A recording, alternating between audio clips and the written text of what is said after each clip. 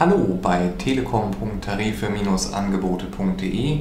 Wir haben hier nun seit einigen Wochen einen Magenta zu Hause Hybridanschluss. Hier sehen wir den Speedport Hybrid Router, für den wir sogar einen idealen Standort mit 100% LTE-Empfang gefunden haben. Wir sind hier an unserem Standort weiterhin sehr zufrieden mit dem Magenta zu Hause Hybridanschluss.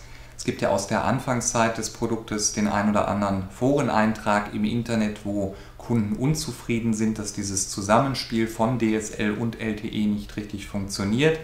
Aber das war wohl ein technisches Problem, was so im April mit einem Firmware-Update behoben worden ist.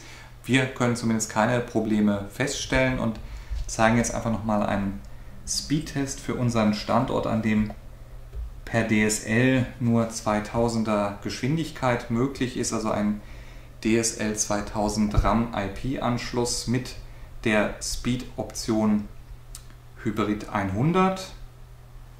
Wir sehen hier also knappe 50 Mbit. Das äh, verändert sich ein bisschen über den Tag. Also LTE ist ja ein Shared Medium, je nachdem wie viele Nutzer gleichzeitig in der Funkzelle unterwegs sind, ähm, kann das durchaus schwanken. Also abends haben wir hier teilweise sogar bis zu 90 Mbit von den 100 möglichen.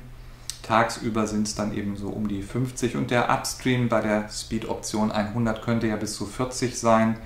Ähm, da kriegen wir hier also ungefähr 30 Mbit hin. Das ist auch so ungefähr der Maximalwert, den wir hier an unserem Standort bekommen und ist natürlich hervorragend, weil wir, wie gesagt, DSL nur mit einer 2000er Geschwindigkeit erhalten. Also wir sind, wie gesagt, sehr zufrieden und können das Produkt unseren Kunden nur weiterempfehlen.